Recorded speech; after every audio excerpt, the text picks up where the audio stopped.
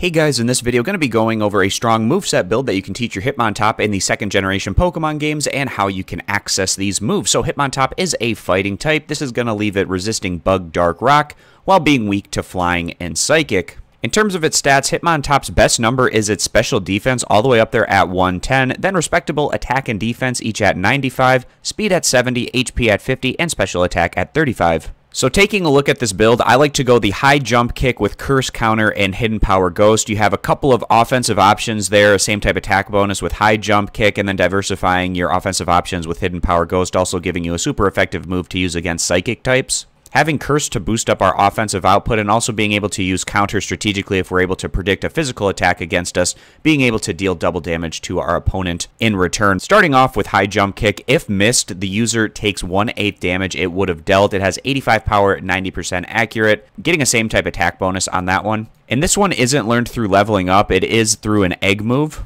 And going over to the breeding chart, we can see that the father would have to be from the Hitmonlee line, knowing high jump kick to pass that one down. You can see that there's also rest and return slotted in here as options, but I prefer going the curse counter route. And what curse is going to do is it increases our attack and defense while reducing our speed. And Curse's TM03 found over at the Celadon Mansion, also known as the Celadon Condominiums. And this can be found on the roof from a man inside after listening to his story at night. That's how you can pick up that TM03 for Curse. The next move counter is learned through leveling up. You pick that one up at level 31. And what counter does is if hit by a physical attack, you're going to return double damage to the opposition. And then rounding things out with move number 4, we have Hidden Power Ghost, which gives us a super effective option to use against psychic types. And getting the right typing on your Hidden Power can be quite difficult. I'll link this article down in the description that walks you through the process and how you go about calculating the typing on Hidden Power in the Gen 2 games. And Hidden Power is TM10. You can find it over on the third floor of the Celadon department store for 3000 and that rounds out this build with the item being leftovers at the end of every turn. The holder restores 1 16th of its max HP. And leftovers can be picked up from a Wild Snorlax, from a trash bin in the Celadon City restaurant, and by trading either Wild Clefable or Wild Snorlax from the first gen Pokemon games over to the Gen 2 games.